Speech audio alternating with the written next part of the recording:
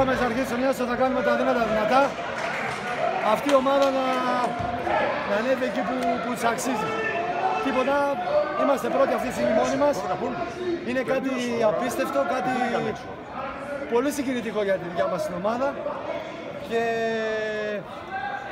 αυτό το χρωστάμε πάρα πολύ στον κόσμο.